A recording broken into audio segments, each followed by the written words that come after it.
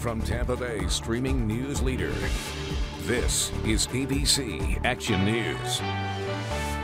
Hello, I'm Lauren St. Germain. Meteorologist Jason Adams has Florida's most accurate forecast in just a moment. But first, your top stories at this hour. Police say a woman was seen on camera at a hospital emergency room in Bradenton loading a gun. They say that woman was arrested and no one was hurt. This happened at Blake Hospital on 28th Street West around 2 a.m.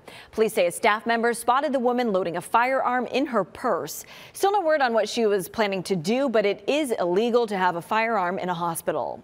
The parents of Gabby Petito and Brian Laundrie are facing each other in a Sarasota County courtroom today. Gabby's parents are suing the Laundries for damages from the death of their daughter.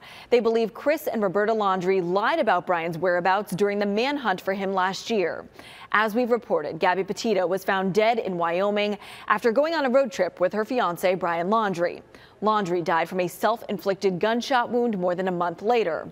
The judge did not make a decision today, saying that could come in a few weeks. If the case does not get thrown out, a jury trial could begin in August of 2023. Right now, Pinellas County is getting ready to upgrade the system you rely on during an emergency. So when you call 911 now, an operator shares your information with emergency responders. Soon, every law enforcement agency will get access to that information seamlessly.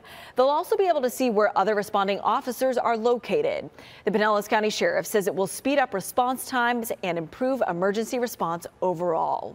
Now here's meteorologist Jason Adams with Florida's most accurate forecast. Jason? Near record high temperatures. That's a weather story for us heading into your Thursday as the heat builds back in after seeing a little bit of a break from it over the last couple of days where we've seen highs into the upper 80s and lower 90s. We're back into the mid to upper 90s inland and low to mid 90s toward the coast. Humidity also starting to climb as well, so that's going to make it feel even hotter with heat indices over 100 Thursday and easily over 105 from Friday into next weekend. We're also looking at a little bit of moisture returning enough to give us a slight shower and storm chance for our inland spots here Thursday. We have a 30% inland, 10% at the coast. And then as we fast forward to your Friday, heads up, we are looking at a much more widespread threat for rain inland and north of I-4. Friday morning dry, but it's Friday afternoon and evening. Showers and storms are a good bet for our inland spots and again areas north of I-4. And then all of us have a much higher chance of rain heading into your weekend.